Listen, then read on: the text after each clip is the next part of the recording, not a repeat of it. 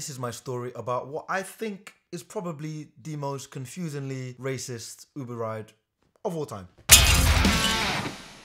I got on Uber pool. I think it was accidentally, in all honesty. I wanted to get a normal Uber. The Uber driver turned up and I was like, oh crap, there's a girl in the Uber already, but it was fine. She was in the back seat.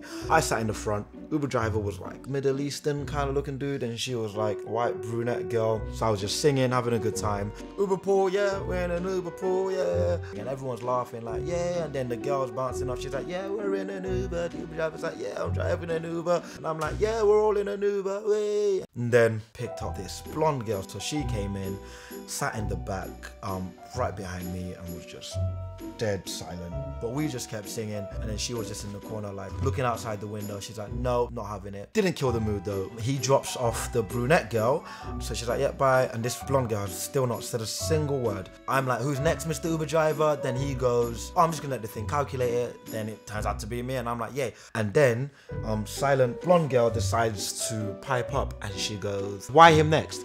And the Uber driver goes, oh, it's it's just the thing, it calculates it. And she's like, no, it should be me next. And I'm thinking, I was here first. Why should it be you next? But I didn't say anything, I just thought it. And then she starts yelling things. Why is it him next? Blah, it should be me. Uber driver's like, calm down. It's not me that decides this, it's the thing. She's like, no, it should be me, blah, blah, blah, whatever. Just like waving her hands about, no, it should be me, pointing at the Uber driver from the back. And he's like, calm down. She's like, no, blah, just roaring, just nonsense. I find it funny because I don't know what she's on. And the Uber driver goes, look, calm down or I'll kick you out of the Uber. And then she doesn't calm down. So then he stops the car and he's like, get out. And she's like, no. Then he goes, get out, you're being rude. She's like, no, I'm not getting out. He goes, if you don't get out, I'll call the police. And the whole time, I'm literally just laughing the whole time. I find it quite hilarious. The Uber driver proceeds to actually call the police. So this is escalating faster than it should. Uh, she yells, I don't even know why you're kicking me out of the Uber. It doesn't make any sense. I'm not even racist. My boyfriend's Nigerian. But I'm like, I don't even know where that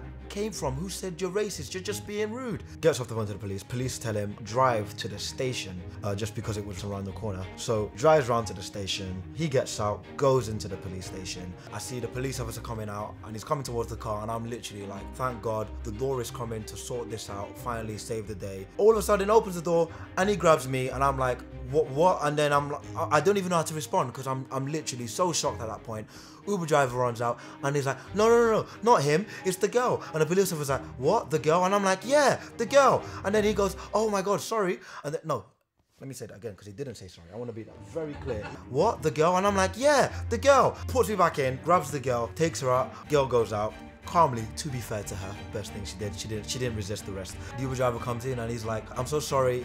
In the same journey, I've had my worst customer and my best customer. And then he decides to cancel my fee. I'll take you home for free for your troubles. And I'm like, that's great. We're driving, he's telling me about his Middle Eastern roots, you know, and I'm telling about my Nigerian roots, and we're just bonding about our cultures. We arrive outside my house, he lets me out, and then just before he leaves, he leans through the window and says, I've been driving an Uber for two years, and you're my favorite customer. I have always hated black people, but because of you, I will give them a chance. And he just drives off, and I'm just standing there like, what the fudge did he just say? And my brain couldn't even process it. I wasn't even sure if it was actual racism.